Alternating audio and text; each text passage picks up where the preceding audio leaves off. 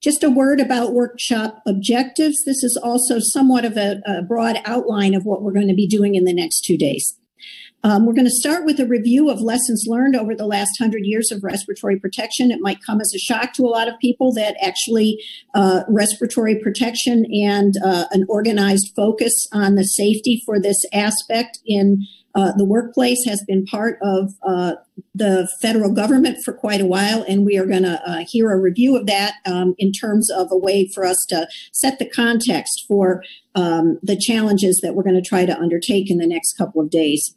Uh, next, we're going to explore current respiratory protection needs and the risks for uh, non traditional worker groups, which I'll talk about in a minute, and for public users.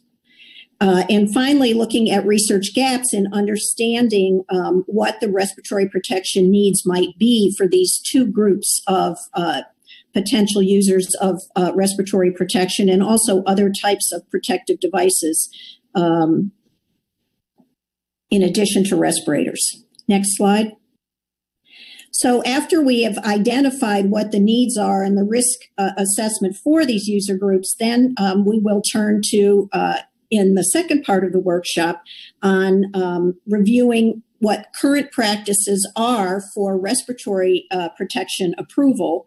And we'll talk about some of the details of that, uh, including conformity assessment to performance standards, and to see whether these approaches that we use for more traditional um, clearance of respirators for workplaces, for example, to see if those current approaches would still suit the needs of these non traditional uh, workers and also um, of the uh, public users of respirators.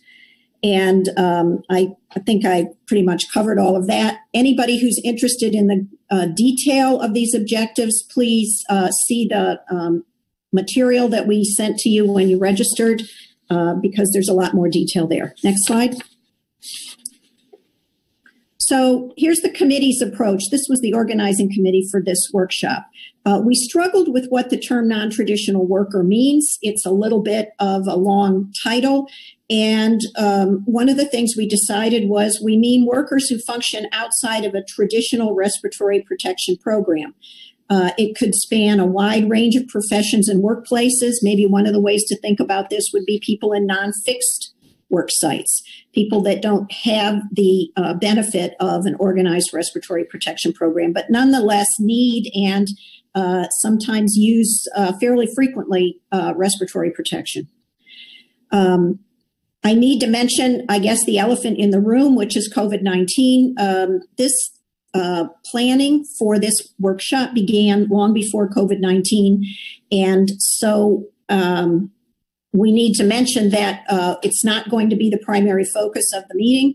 However, we are going to mention it, um, it especially in terms of uh, the current question about public use of uh, face coverings, uh, if not respirators.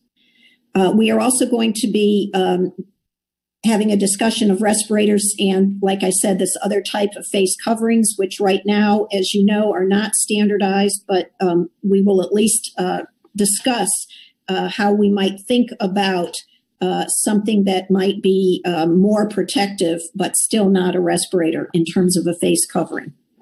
Next slide. So the logistics, how uh, we're going to work uh, for the next two days together. Um, as you know, it's a public two-day workshop.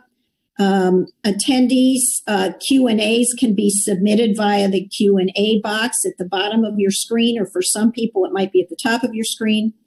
Uh, speakers and committee bio sketches on the workshop webpage can be reviewed by you for more detail.